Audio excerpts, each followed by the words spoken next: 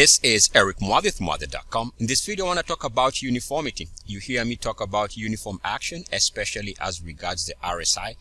Now, about 10 years ago, I came to the realization when doing my research that a lot of the turnaround situations we see in stocks tend to happen with uniform action in the RSI. And how, why is this? How is that? That's a hard thing to explain. I probably would say I don't know how that plays out.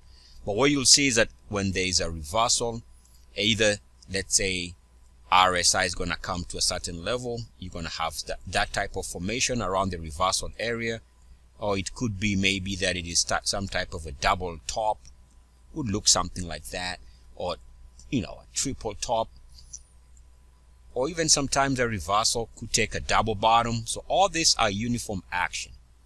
Now at first glance, might not seem like that, but what happens is with training, once you realize this, you start seeing it all over the place. And you can backtest this as far back as your charts can go.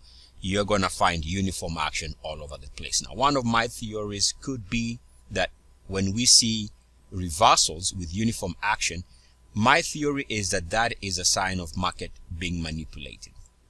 That's my theory. That's how I rationalize it but that's besides the point. So what we're going to do, we're going to take a look at one stock, giving us a good example of reversal where we see uniform action. Again, keep in mind uniform action comes in many forms and varieties.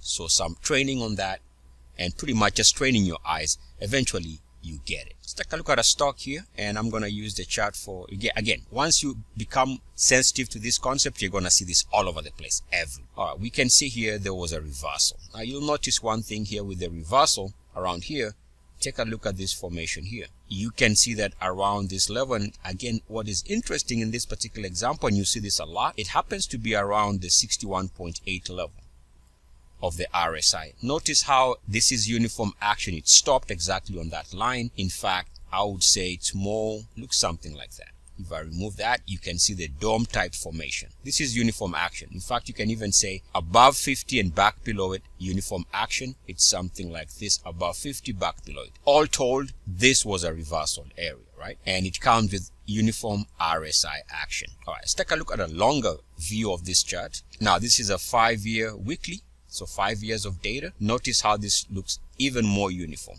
Now we can see other areas. For example, go back to this area here where we have movement of the RSI above that range. And what we do is use my uniformity method. I'm going to draw a line somewhere around there. By the way, it so happens this line is around the 38.2, which is the exact opposite of 61.8.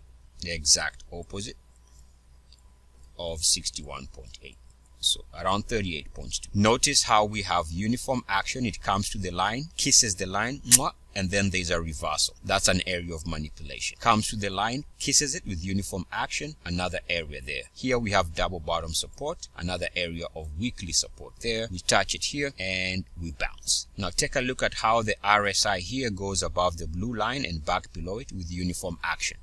It looks something like this And that's what I'm saying. This is uniform action here. Now we can draw another line like that. Let me clear the chart and draw it again. So here's the line.